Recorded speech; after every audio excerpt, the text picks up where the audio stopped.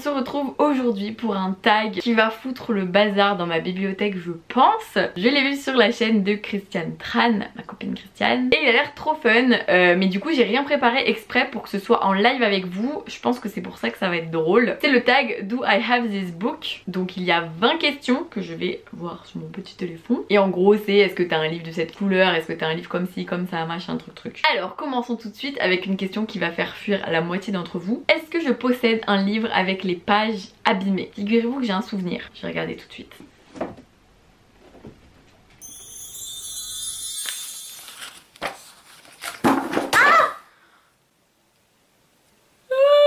Qu'est-ce que j'ai fait Si je le prête à quelqu'un, rappelez-moi que j'ai mâché une page de livre s'il vous plaît. Quand j'avais fait ma vidéo, euh, je sais vous avez l'impression que je fais une propagande de Phobos, je vous en parle dans toutes les vidéos que je fais. Quand j'avais fait ma vidéo de défis à réaliser, vous m'aviez demandé de manger un livre il me semble, ou une page de livre, je sais plus que vous ou mâcher une page de livre. Et j'avais mâché une page de Phobos et elle est clairement mordue, mais en fait voilà, j'allais dire, en fait elle est complètement euh, déchirée en fait. J'ai reposé la truc, mais je m'en fiche, mon livre a une âme, il a un souvenir marquant entre ces pages. Est-ce que je possède un livre avec trois personnes ou plus sur la couverture? C'est complètement de la triche, j'ai un livre là, dans ma vision, où ils sont plus que trois. Il s'agit de 4 filles et 4 garçons de Florence Inkel chez Talent J'en ai un, mais je suis sûre j'en ai plein d'autres en vrai. Est-ce que je possède un livre basé sur une autre fiction? Hmm. Oui, je sais. J'ai Les collisions de Joanne Richoux chez Sarbacane, c'est inspiré de Les liaisons dangereuses. En fait, c'est une histoire qui est basée sur un autre roman, Les liaisons dangereuses, donc qui est bien une fiction puisque ce n'était pas un roman autobiographique. C'est chez Sarbacane et c'est un très très bon livre. Est-ce que je possède un livre avec un titre de 10 lettres? Ça me rappelle les défis qu'on avait fait avec Christiane, je crois qu'il y avait 10 lettres, donc peut-être que je sais lequel j'avais pris.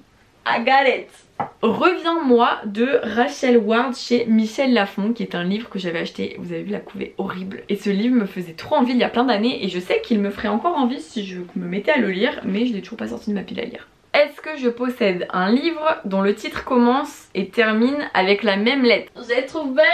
J'ai trouvé. Les évadés du bocal, ça commence par un L, ça finit par un L de Bruno Longchamp chez Sarbacane qui est un livre qui m'avait beaucoup fait rire. Est-ce que je possède un livre de poche? Non mais cette question, genre j'en ai là, là, là, là, j'en ai partout là-haut, partout partout. Si vous en voulez un, on va sortir le cliché Je veux vivre de Jenny Downham chez PKJ que j'ai lu et que j'avais pas trop trop aimé par rapport à tout le monde. Est-ce que je possède un livre par un auteur qui utilise un autre nom d'écriture? Hmm. J'avais pas pensé que je pouvais perdre ce défi des 20 questions en fait. C'est con parce que j'ai une place à prendre de J.K. Rowling mais... Eh ben non, elle l'a écrit sous le nom de J.K. Rowling, je suis con. Non mais j'en ai forcément, c'est obligé. Few moments later. Je sais, Elena Ferrante parce que Elena Ferrante je suis presque sûre que c'est un pseudonyme justement parce que personne ne sait qui est derrière ce nom prénom. Personne ne connaît la vie de cette autrice elle ne répond pas aux interviews tout ça. Donc on va répondre Elena Ferrante. Est-ce que je possède un livre avec le nom d'un personnage dans le titre? Je pense que oui. Cinder de Marissa Meyer parce que Cinder le personnage principal s'appelle Cinder. Est-ce que je possède un livre avec deux cartes à l'intérieur? Ah deux cartes? Une? Oui. Deux? Je sais pas. Attendez je regarde oui Dans Extincta de Victor Dixon, il y a euh, au tout début une carte, les dernières terres. Et quand on avance dans le livre, on a la désolation intérieure. Et je me dis, il y en a peut-être même d'autres en fait que j'ai pas capté. Oui, il y en a plein en fait On a trouvé un livre avec des cartes. Est-ce que je possède un livre qui est devenu une série?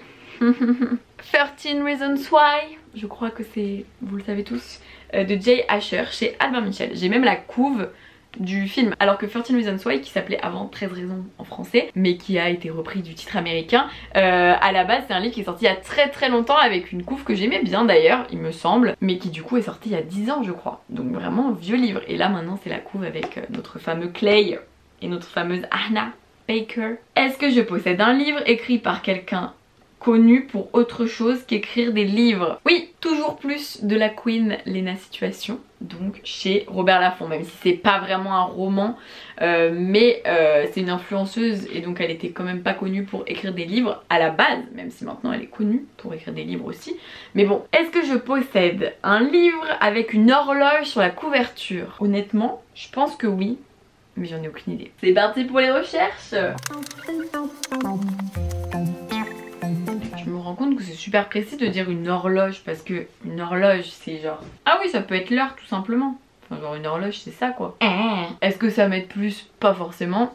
Je crois que je sais. Three days later. Yes C'était pas prévu, j'étais vraiment en train de revenir et de vous dire Hum, je trouve pas, tant pis, j'en ai marre et tout. Quand d'un coup, mon cerveau se dit tiens, et si on fouillait dans les piles qui traînassent partout? Je soulève deux livres et là, je vois Minuit 4 de Stephen King et c'est une horloge ici. Je suis sûre que j'en ai plein d'autres avec des horloges, c'est incroyable. Est-ce que je possède un livre de poésie? Oui. Allez, je vous sors Elsa de Aragon que ma meilleure amie Tina m'a offert et dont elle vous a parlé dans sa vidéo sur ses lectures chez euh, Gallimard Poésie NRF que je n'ai pas encore lu d'ailleurs. Tina va me tuer, elle verra pas cette vidéo.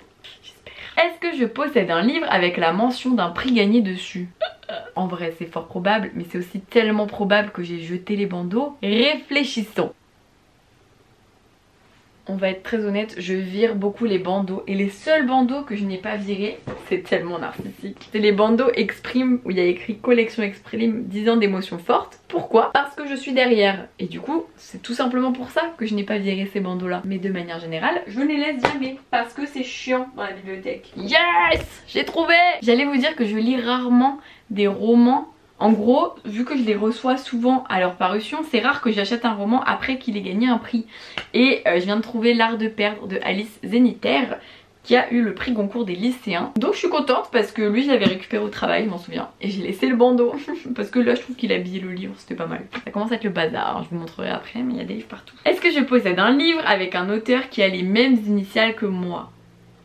A et T. Perdure, je crois pas. Déjà A, il y a Arnaud Catherine, mais après j'ai pas beaucoup d'auteurs qui commencent par un A. Alice quelque chose, Anne-Laure Bondou, Anne Bracha. Eh, là ça serait pratique d'avoir une bibliothèque classée par ordre alphabétique, hein, moi je vous le dis. Hein. Eh, en vrai, il y en a pas mal qui commencent par des A en prénom. A, A, A, la que le le. 2000 years later. J'ai trouvé Eh mais en plus c'est trop la classe L'autrice de The Hate You Give, qui est une autrice extrêmement talentueuse, s'appelle Angie Thomas. A et T. Désolée, je trouve la classe. J'avoue, je suis aussi soulagée d'avoir trouvé parce que ça commençait à m'inquiéter cette histoire. Je me disais, je vais quand même pas finir ce challenge sans trouver ce livre-là. Est-ce que je possède un livre de nouvelles? Oui, forcément. Ou je ne sais pas. Je sais que j'en ai un. Elle est le vent furieux, c'est un recueil de 6 nouvelles de 6 autrices trop talentueuses. Est-ce que je possède un livre qui a entre 500 et 510 pages? C'est beaucoup 500 quand même, hein. j'ai pas tous mes livres qui font 500 pages. Where is Phobos? Ha 460, 440. Aussi ils sont chiants, ils ont jamais la bonne épaisseur qui correspond au nombre de pages. Mais lui il doit en faire 1000 non? 985 Putain j'ai trouvé C'est Néo de Michel Bussy chez Pocket Jeunesse qui fait un peu de la triche. Il fait 508 pages. En gros la fin du livre s'arrête là et après il y a euh, plus de pagination, on voit plus le numéro de page parce que c'est le, tome, le début du tome 2 quoi. Du coup la pagination s'arrête vraiment à la page 508. Ça compte? Alors on finit. Est-ce que je possède un livre qui est devenu un film? On va prendre Hunger Games de Suzanne Collins chez PKJ qui est un très très bon film, un très très bon livre évidemment. Et j'ai chaud de faire cette vidéo, j'en peux plus. Est-ce que je possède un roman graphique? Mais évidemment que je possède des romans graphiques, j'en ai partout. Allô, les romans graphiques s'il vous plaît. Je vous montre Sœur 10 de MT Anderson et Jo Ryu chez Rue de Sèvres, qui est une très belle BD roman graphique. C'est un terme qui est encore complexe à définir, mais j'estime que ça c'est un roman graphique parce que c'est assez gros, c'est très très beau c'est mes seuls critères. Et enfin, est-ce que je possède un livre écrit à quatre mains ou plus? Alors, quatre mains, c'est deux personnes, on est d'accord. Je prends La nuit où les étoiles se sont éteintes de Nin Gorman et Marie Alino chez Albin Michel. Voilà, quatre mains, elles sont deux, elles ont toutes les deux deux mains. Donc je crois que c'est ça la question. Et voilà pour ce tag qui j'espère vous a plu. Je vous montre les dégâts. Voilà, il y a des livres partout, partout, partout, partout. Voilà, j'espère que ça vous a plu, ça m'a fait plaisir de vous faire un petit tag. N'hésitez pas à me dire si vous avez d'autres tags que vous aimeriez que je fasse.